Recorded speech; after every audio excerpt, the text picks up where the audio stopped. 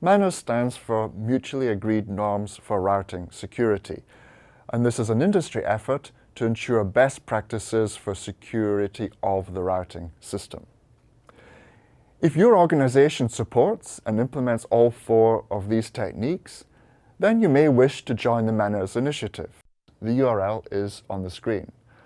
There's a MANRS initiative for network operators and also for Internet exchange points.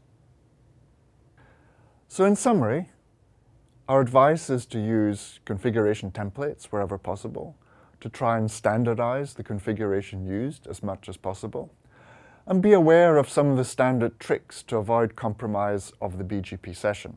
In fact, anything to make your life easier, the network less prone to errors, and the network more likely to scale. Also, we advise to implement the four fundamentals of MANRS. It's all about scaling, and if your network won't scale, then it won't be successful.